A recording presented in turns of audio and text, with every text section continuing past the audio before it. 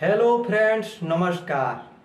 हम लोग जानेंगे सोशल मीडिया का हमारे जीवन में क्या अधिकार है। हमारे एनएस चैनल को सब्सक्राइब करें। फ्रेंड्स सोशल मीडिया हमारे जीवन में बहुत ही महत्वपूर्ण है। हम अपने बातों को एक दूसरे तक पहुँचाने के लिए सोशल मीडिया का प्रयोग करते हैं तथा किसी भी प्रकार के खबर पाने के लिए सोशल मीडिया हमारा बहुत मदद करता है। इसलिए इस समय इस समय में सोशल मीडिया से जुड़ना, जागरूक होना हमारे लिए अत्यंत आवश्यक है।